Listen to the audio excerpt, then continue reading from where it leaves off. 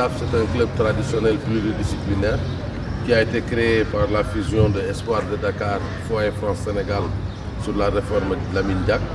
Donc la naissance du Giraffe, officiellement, c'est le 20 septembre 1969. Donc euh, c'est aussi un des clubs doyens, à part la gendarme et l'Union sportive de Gorée. Et comme je l'ai dit tantôt, c'est un club pluridisciplinaire qui, hormis le football, fait du basket en garçon et en fille, fait du handball en garçon et en fille, fait de l'athlétisme en garçon et en fille. Et nous avons aussi une, section de, tennis. Bon, la natation, c'est un peu en léthargie, mais nous allons incessamment bientôt relancer pour ce qui concerne la, natation. Donc ça, c'était un peu pour vous camper euh, le club, le, le euh, tout à l'heure, vous me demandez par rapport au palmarès aussi, nous sommes le club le plus titré au Sénégal, avec bien sûr 12 titres de champion du Sénégal et 13 titres de vainqueur de la Coupe du Sénégal.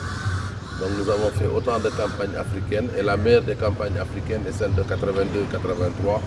Nous avons pu accéder en demi-finale de la Coupe d'Afrique des vainqueurs de club. Donc euh, c'est un peu ça grosso modo pour le palmarès.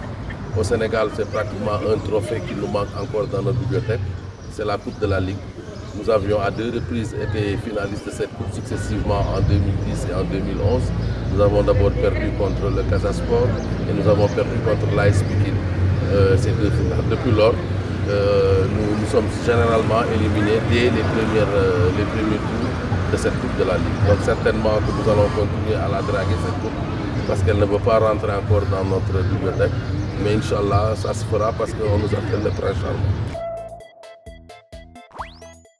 les difficultés, c'est les difficultés que tous les clubs rencontrent. Tout d'abord, au Sénégal, les difficultés, la difficulté essentielle d'un club, c'est d'abord les difficultés infrastructurelles, c'est les problèmes de stade.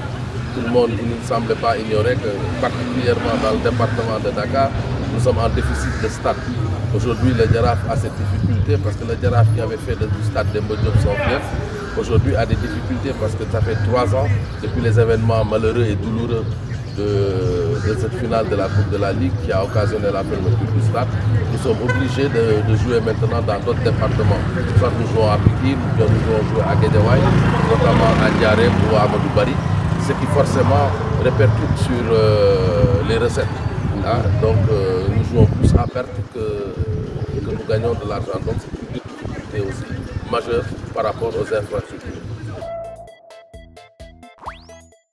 La, deuxième difficulté que nous allons recenser et qui me semble être euh, euh, générale pour tous les clubs, c'est le sponsoring. Les sponsors ne répondent pas tellement au, football sénégalais et ça aussi c'est quelque chose qui, fait que les clubs professionnels souffrent beaucoup. Et il faudrait aussi mettre le doigt sur la plaie parce que le football professionnel, l'avènement du football professionnel, ce n'est pas les clubs qui ont été demandeurs. C'est une politique de l'État. C'est l'État au sortir de la Coupe du Monde de 2002 qui avait initié à ce que nous lancions le football professionnel au Sénégal.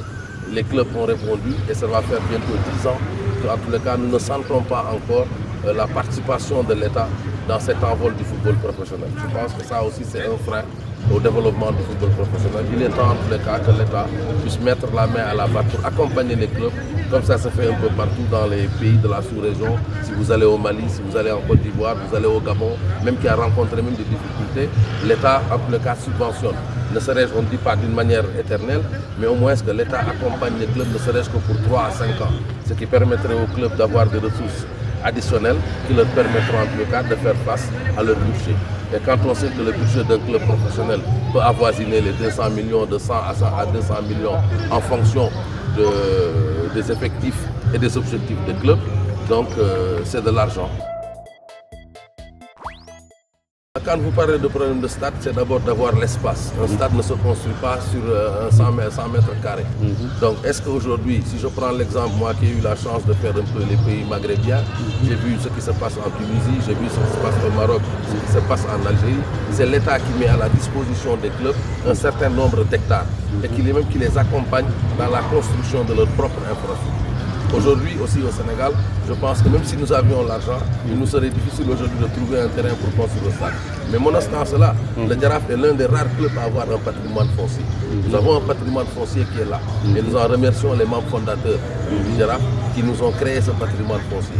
Nous avons notre siège qui est 6 au point E, qui, qui est là, à peu près 6 000 mètres carrés, 6, 700 mètres carrés. Nous avons le terrain qui joue sur le, le, centre Gaspard Camara, le terrain d'amitié, qui est aussi un patrimoine foncier du Djara. Et nous avons 5 hectares à Yen. Donc nous sommes dans des projets de pouvoir valoriser en tous les cas ce, patrimoine foncier pour que nous puissions détenir ne serait-ce qu'un centre sportif où nous pourrons déjà nous entraîner. Parce que les clubs rencontrent des difficultés, ne serait-ce que pour l'entraînement, à pour faire raison d'avoir les stades. Donc ce qui s'est fait en Europe, le football professionnel en France a mis 33 ans pour être ce qu'il est aujourd'hui. Le football espagnol a mis 50 ans pour être ce qu'il est aujourd'hui. Et à chaque fois, l'État a accompagné, les sponsors ont accompagné. Et aujourd'hui, ici en Afrique, nous n'avons pas ce que nous appelons les droits de télévision. Les droits de télévision ne sont pas versés. Aujourd'hui, vous allez prendre n'importe quelle chaîne de télévision, vous lui dites de venir faire votre match, il vous dit vous payez combien? Alors que c'est le contraire qui aurait dû se passer. C'est à partir des programmes, des matchs de football que des droits de télévision devraient être versés, à mon, à mon avis, à des clubs. Mais pour ce faire, une télévision ne viendrait pas dans un stade Une télévision doit être accompagnée par des sponsors, par un public. Et le public, justement, ne répond plus aujourd'hui au match. Et la concurrence, c'est parce qu'il y a une concurrence déloyale.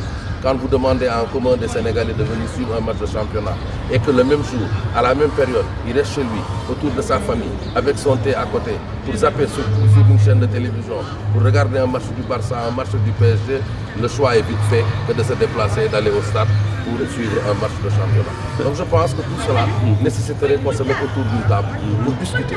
Parce que c'est plusieurs gens qui devraient en les cas intervenir. Ce n'est pas l'affaire des acteurs du football. Au-delà des acteurs du football, je l'ai dit tout à l'heure, il y a l'État, il y a la presse, il y a les, en les cas les, supports audiovisuels qui doivent tous venir autour d'une table pour que nous puissions discuter et afin de pouvoir définir en les cas un créneau qui permettrait au football professionnel de se développer davantage.